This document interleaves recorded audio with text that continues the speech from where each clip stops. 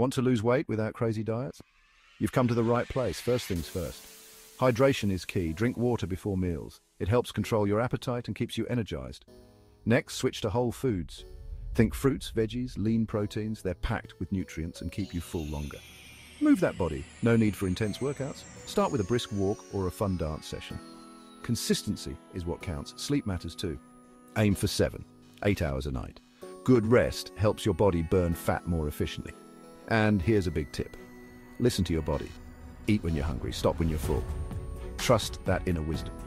Remember, this isn't about a quick fix, it's a lifestyle change. Celebrate small victories along the way. You've got this.